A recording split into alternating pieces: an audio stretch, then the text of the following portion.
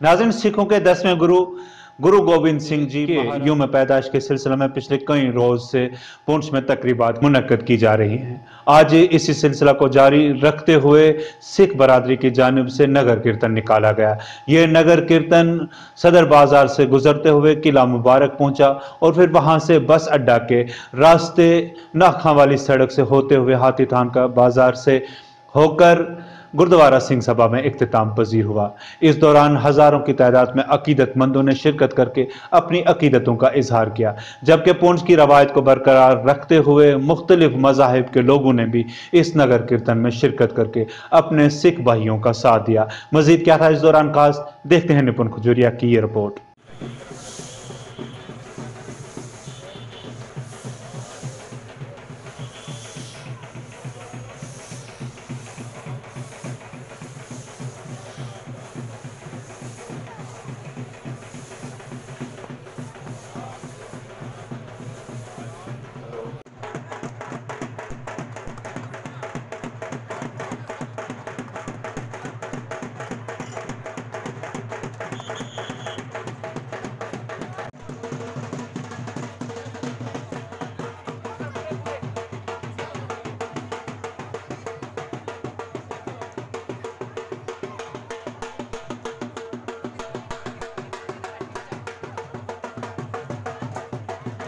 है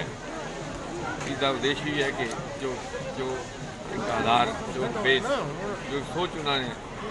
समाज ਲਈ ਦਿੱਤੀ ਸੀ ਉਸੇ ਸੋਚ ਨੂੰ ਅੱਗੇ ਬਣਾਉਂਦੇ ਹੋਈ ਹਰ ਸਾਲ ਦੀ ਤਰ੍ਹਾਂ ਹਜ਼ਾਰਾਂ ਦੀ ਤਾਦਾਦ ਵਿੱਚ ਬੱਚੇ ਨੌਜਵਾਨ ਉਹ ਸਾਰੇ ਧਰਮਾਂ ਦੇ ਮੰਨਣ ਵਾਲੇ ਲੋਕ ਇਸ ਨਗਰ ਕੀਰਤਨ ਸ਼ਾਮਲ ਨੇ ਇਹਦਾ ਮੇਨ ਮਕਸਦ ਇਹ ਹੈ ਕਿ ਆਪਸੀ ਜਿਹੜਾ ਭਾਈਚਾਰਾ ਹੈ ਇੱਕ ਇੱਕ ਜੰਗ ਜਿਹੜੀ ਗੁਰੂ ਨੇ ਲੜੀ ਸੀ ਉਸਲੇ ਨਾਇਨਸਾਫੀ ਦੇ ਖਿਲਾਫ ਉਸੇ ਆਧਾਰ ਨੂੰ ਲੈ ਕੇ ਇਹ ਸਾਰੇ ਲੋਕ ਇਕੱਠੇ ਹੋ ਕੇ ਉਹ ਦਿਨ ਮਨਾਉਂਦੇ ਨੇ। ਪਰਸੋਂ ਦੇ تیارے جن دن ہے اسی سارے مل کے خوشیاں ਦੇ آج سارے مل کے اس دن ਦਿਨ ਨੂੰ ਮਨਾਈਏ। ਯਾਦ ਕਰੀਏ ਉਹਨਾਂ ਲੋਕਾਂ ਨੂੰ ਜਿਹਨਾਂ ਨੇ ਕੋਈ اچھی سوچ لی اپنا سارا ونش قربان کرتا سرداری بتائیں جو جو آج یہاں پہ پونچھ میں جو نگر کیرتن نکالا گیا اس کے حوالے سے واحر جی کا خالصہ واحر جی فتح آج پونچھ دے اندر سمو پونچھ نواسی سنگتا نے بنا مذہب ملت ਇੱਕ ਮਹਾਨ ਨਗਰ ਕੀਰਤਨ ਗੁਰਦੁਆਰਾ ਸ੍ਰੀ ਗੁਰੂ ਸਿੰਘ ਸਭਾ ਵਿੱਚੋਂ ਕੱਢੇ ਗਏ ਨੇ, ਜੋ ਕਿ ਸਾਹਿਬ ਕਮਾਲ ਸਾਹਿਬ ਸ੍ਰੀ ਗੁਰੂ ਗੋਬਿੰਦ ਸਿੰਘ ਜੀ ਮਹਾਰਾਜ ਦੇ ਪ੍ਰਕਾਸ਼ ਪੁਰਬ ਦੇ ਸੰਬੰਧ ਵਿੱਚ ਇਹ ਜੋ ਨਗਰ ਕੀਰਤਨ ਨੇ ਕੱਢੇ ਗਏ ਨੇ, ਇਸ ਵਕਤ ਨਗਰ ਕੀਰਤਨ ਜਿਹੜਾ ਹੈ ਪੁੰਛ ਦੇ ਡਿਗਰੀ ਕਾਲਜ ਦੇ ਗਰਾਊਂਡ ਵਿੱਚ ਪੁੱਜੇ ਨੇ ਔਰ ਇੱਥੇ ਜੋ ਸਾਡੇ ਨਿਹੰਗ ਦਲ ਨੇ, ਉਹ ਇੱਕ ਆਪਣੇ ਸ਼ਸਤਰਾਂ ਦੀ ਪ੍ਰਦਰਸ਼ਨੀ ਜਿਹੜੀ ਹੈ, ਉਹ ਕਰ ਰਹੇ ਨੇ। ਉਹ ਬਹੁਤ ਹੀ ਵੱਡਾ ਤਾਵਨ ਰਿਹਾ ਹੈ ਸਾਨੂੰ ਇੱਥੇ ਦੀ ਡਿਸਟ੍ਰਿਕਟ ਐਡਮਿਨਿਸਟ੍ਰੇਸ਼ਨ ਦਾ ਅਤੇ ਹਰ ਡਿਪਾਰਟਮੈਂਟ ਮੈਂ ਕਹਾਂਗਾ, ਸਾਰੇ ਹੀ ਡਿਪਾਰਟਮੈਂਟ ਜਿਹੜੇ ਸਨ, ਉਹਨਾਂ ਸਾਰਿਆਂ ਨੇ ਬਹੁਤ ਵੱਡਾ ਤਾਵਨ ਦਿੱਤਾ ਹੈ। ਸਮੂਹ ਸੰਗਤਾਂ ਨੇ ਬਿਨਾਂ ਮਸਬੂਬੀਅਤ ਬਹੁਤ ਵੱਡਾ ਤਾਵਨ ਦੇ ਕੇ ਇਸ ਪ੍ਰੋਗਰਾਮ ਨੂੰ ਕਾਮਯਾਬ ਕੀਤਾ ਹੈ। ਤੋਂ ਕਿਉਂ ਕੀਤਾ ਵੀ ਕਿਉਂ ਨਾ ਜਾਵੇ? ਕਿਉਂਕਿ ਗੁਰੂ ਗੋਬਿੰਦ ਸਿੰਘ ਜੀ ਮਹਾਰਾਜ ਜਿਨ੍ਹਾਂ ਨੇ ਇਸ ਸਾਰੀ ਮਨੁੱਖਤਾ ਦੇ ਲਈ, ਮੈਂ ਕਹਾਂਗਾ ਕਿ ਸਾਰੀ ਮਨੁੱਖਤਾ ਦੇ ਲਈ ਉਹਨਾਂ ਨੇ ਆਪਣਾ ਸਾਰਾ ਸਰਵਸ ਜਿਹੜਾ ਹੈ, ਉਹ ਵਾਰਿਆ ਹੈ। ਕਿਉਂਕਿ ਉਹਨਾਂ ਦਾ ਇੱਕ ਸੰਦੇਸ਼ ਸੀ ਕਿ ਭਾਈ ਇਸ ਹਿੰਦੁਸਤਾਨ ਦੇ ਉੱਤੇ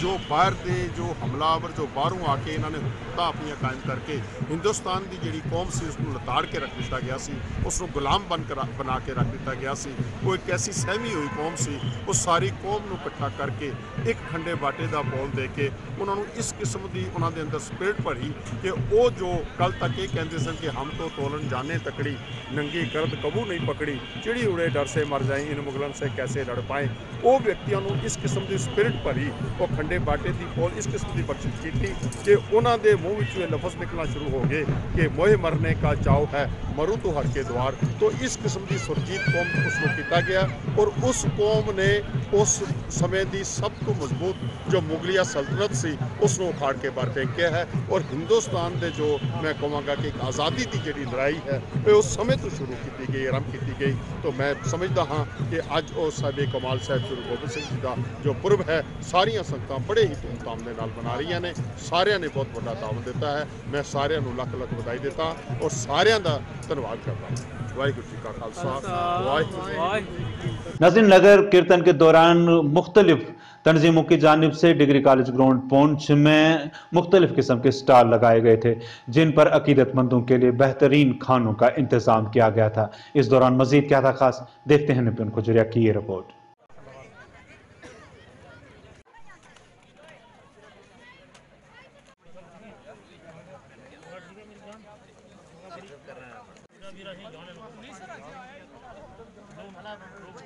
جناب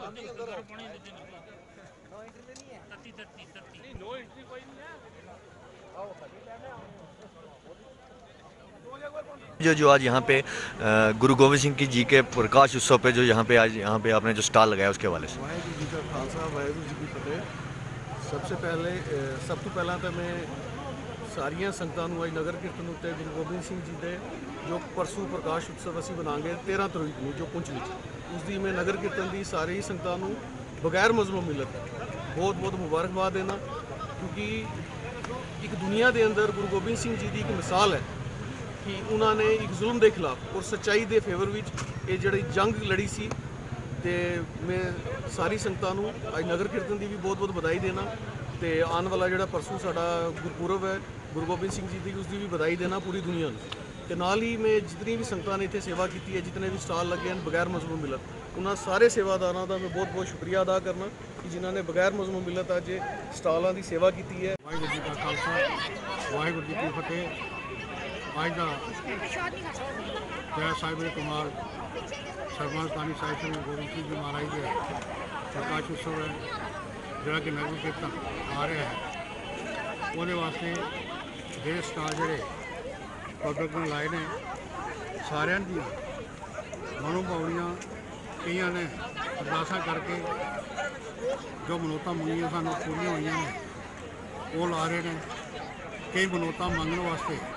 ਸਟਾਲ ਆ ਰਹੇ ਨੇ ਕਿ ਸਾਡੀ ਇਹ ਮਨੋਭਾਵਨਾ ਜਿਹੜੀ ਪੂਰੀ ਹੋ ਜਾਵੇ। ਸੋ ਮੈਂ ਆਸ ਕਰਾਂਗਾ ਕਿ ਅਕਾਲ ਪੁਰਖ ਜਿਸ ਦੀ ਭਾਵਨਾ ਕਰਕੇ ਇਹਨਾਂ ਨੇ ਸਟਾਲ ਲਾਏ ਹਨ ਉਹਨਾਂ ਸਾਰਿਆਂ ਦੀਆਂ ਮਨੋਭਾਵਨਾ ਪੂਰੀਆਂ ਕਰੇ, ਤਾਂ ਕਿ ਅਕਾਲ ਪੁਰਖ ਦੇ ਨਾਲ ਇਹ ਸਾਰੇ ਜੁੜੇ ਰਹਿਣ। ਤਾਂ ਕਿ ਇਹਨਾਂ ਦੀਆਂ ਮਨੋਭਾਵਨਾ ਪੂਰੀਆਂ ਹੋਣ ਦੇ ਨਾਲ ਹੋਰ ਵੀ ਲੋਕਾਂ ਨੂੰ ਜਿਹੜੀ ਇੱਛਾ ਜਿਹੜੀ ਮਿਲੇਗੀ ਸ਼ਾਇਦ ਮਿਲੇਗਾ। ਤਾਂ ਕਰਕੇ ਉਹ ਲੋਕ ਵੀ ਜਿਹੜੇ ਹਨ, ਇਸ ਪਾਸੇ ਗੁਰੂ ਦੇ ਨਾਲ ਜੁੜਨਗੇ ਵਾਹਿਗੁਰੂ ਜੀ ਕਾ ਖਾਲਸਾ। ਵਾਹਿਗੁਰੂ